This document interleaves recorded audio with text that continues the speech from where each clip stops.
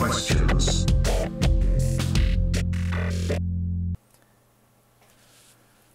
This is the Tangent Element selection of panels. It's a modular connection, so there really is uh, four separate modules over here. The one on the right has a uh, trackball and a wheel, and this is primarily for um, navigating around the timeline. And we could play, stop, rewind, jump to different parts of the timeline. Um, and it also allows us to use different zoom modes in the timeline. On the left-hand side, um, over here we have a few buttons, and here we can add and delete keyframes. But more importantly, uh, these four buttons over here allow us to edit our overall uh, offset, gamma, and gain, which are these three middle wheels, which we'll get to a second, um, the uh, shadows, midtones, and highlights.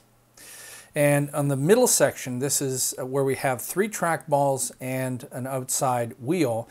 And it's the exact same mechanism here, just in, in three places.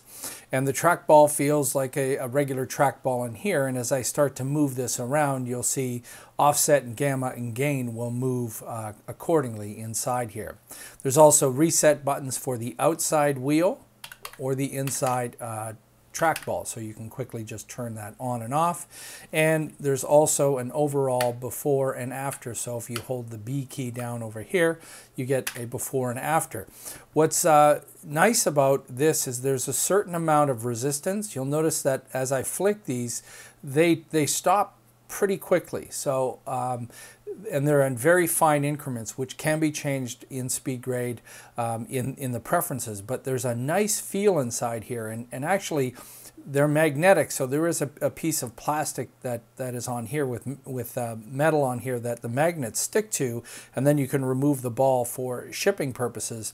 But this mechanism has a certain, a really nice uh, feeling of viscosity. There's a, there's a certain uh, tension inside here that I really, really like. This makes all the difference when you're moving these wheels around. And, and you can spin them really quite fast to make large movements in here. So it's not like you're just limiting yourself to only small, tiny, fine movements. Uh, generous amount of spinning here gets you there uh, very quickly.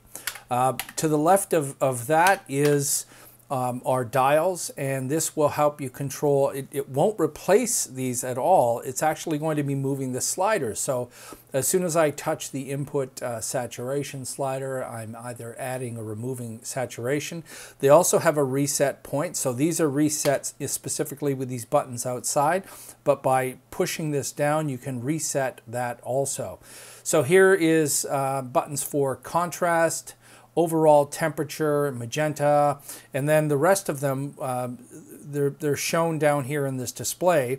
So th this is primarily just for uh, the grading buttons now that would also work in overall shadow, midtone, and highlight. So they also have uh, functions in both of, of, all four of those tabs, but they are specific. So if I wanted to change, for instance, Let's say that I wanted to change the temperature of the highlights. I go to highlights, temperature, and start changing that.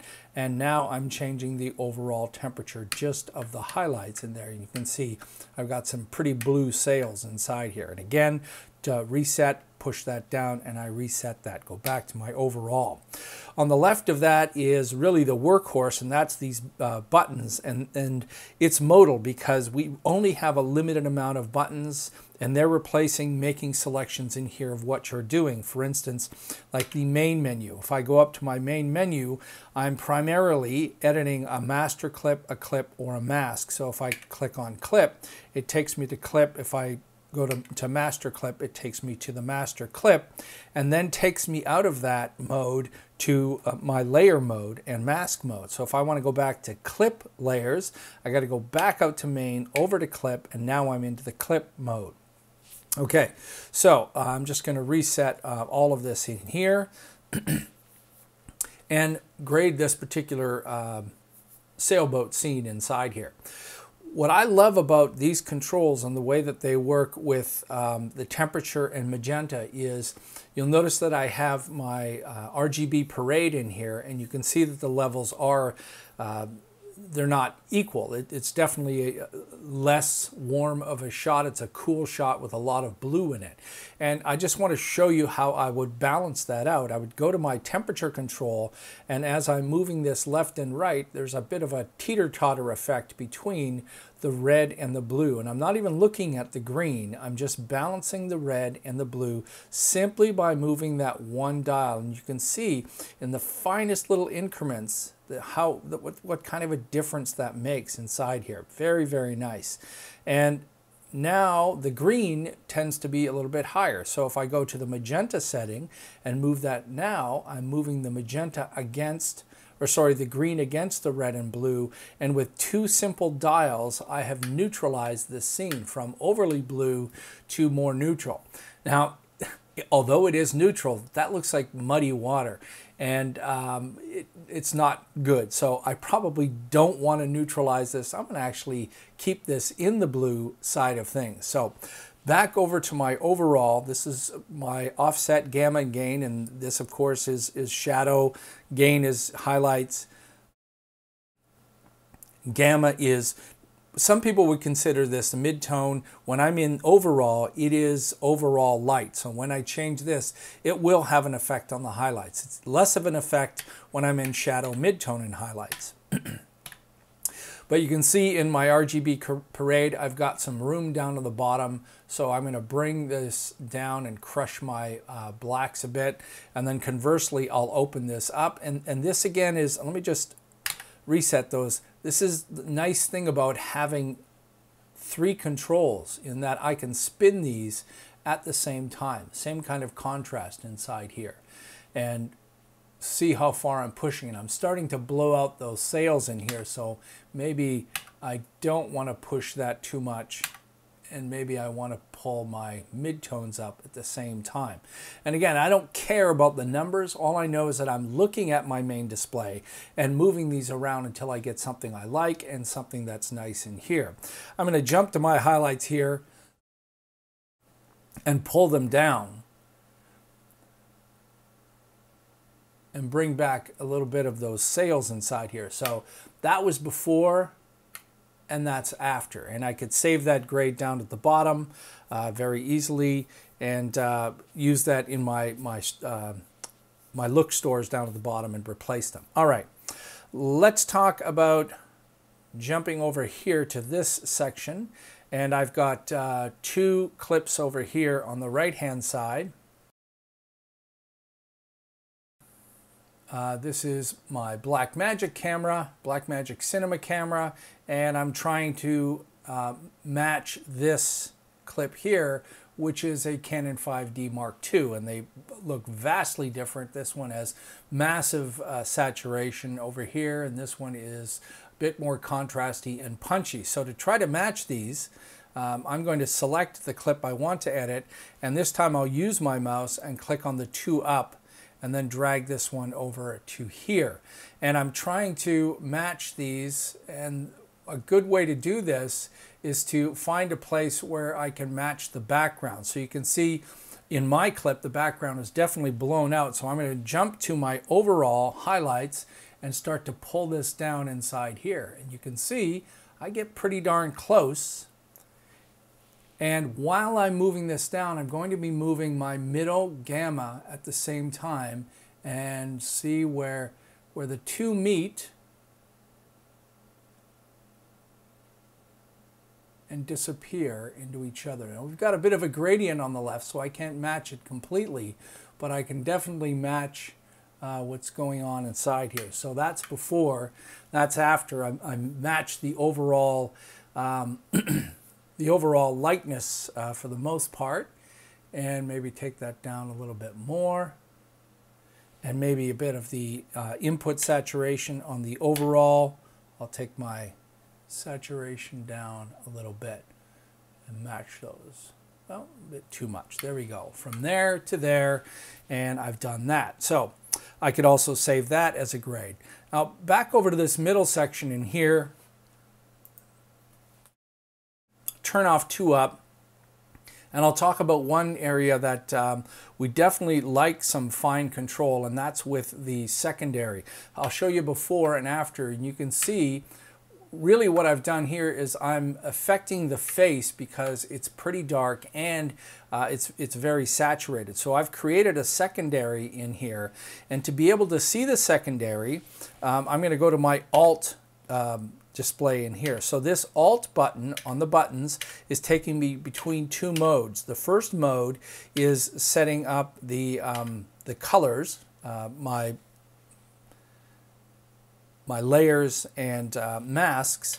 Um, and the second one is turning on and off these uh, indicators of where my matte, where my secondary is. So you still need to grab the mouse and grab the eyedropper and then move directly into this window and select the skin tone, which I've already done.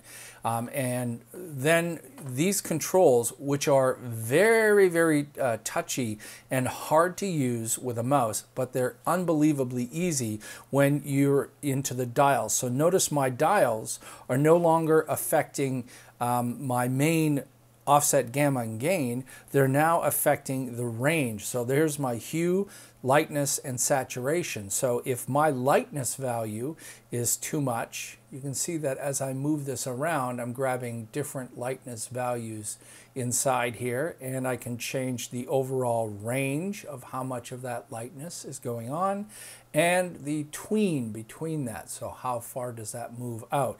And trying to do this with a mouse, let me tell you, is unbelievably touchy. But doing this with these controls is incredible. So when people are uh, using secondaries in SpeedGrade and they're just using a mouse, uh, it is definitely something that's difficult to use.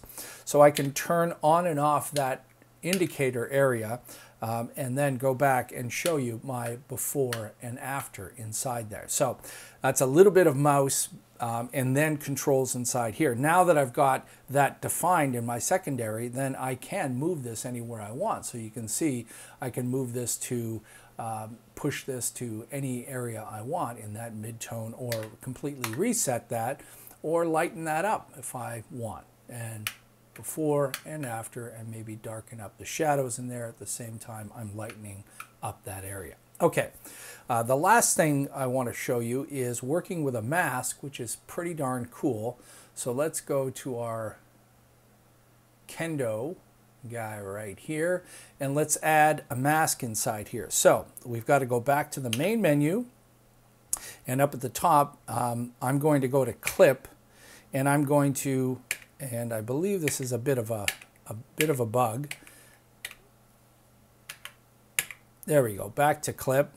And I'm going to um, go back to Alt and add a primary. So all of that switching just to add another primary over here. Uh, once that, that primary is added, I'm just going to take the um, offset and crush that down in here to create a dark area. Now I need to add a mask for that. To get to that mask, um, I'll go back to my main menu and add a mask. And now you can see that my controls have, have changed to masking controls. So if I um, choose a circle or a square or a vignette, and to actually see this in the inside or outside, go back to my main menu, back to clip, and I've got to go back to my uh, other layer, and here is where I will And here is where I will make it the mask on the inside or the mask on the outside. So back to my main menu, back to mask. Now I've got mask controls. Now the middle dials are controlling the mask. This is rotating the mask, which of course I could reset. And the middle one is positioning the mask. Here I can change the overall scale or I can change the independent scale, left and right and morph that around and then the overall vignette inside here. Go back to my master clip, back to clip, back up to this clip and here I can turn that layer visibility on and off which I could also turn on and off from the main one here. So the difference here is this layer visibility is just the vignette that I added on my new primary. This is the overall clip from raw to what I have inside here. So a lot of functionality, a lot of control. Um, hopefully, you can you can see that that um, using this instead of using a mouse is uh, hugely advantageous. There is definitely some overlap in this area when you're working in modal uh, modes where you've got to jump between the. That's probably the the, um, uh, the most difficult thing to to get used to is the fact that you've got really there's three different areas in here or or possibly more. Um, actually, I think there's like six different areas, two for each layer, um, two for each mode uh, to get to or one for mask, uh, alt for clip. So there's like five different modes inside here to jump around. So that's that's probably the hardest uh, thing to, for people to get used to. For controlling, um, really having these the, the dials and having the, the wheels and track balls, there's a, a, a visceral uh, feeling happening inside here that really makes color grading incredible.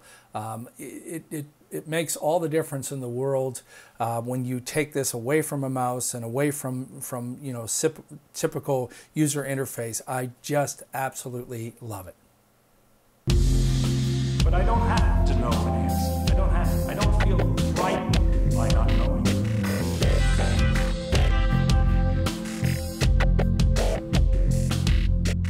It doesn't frighten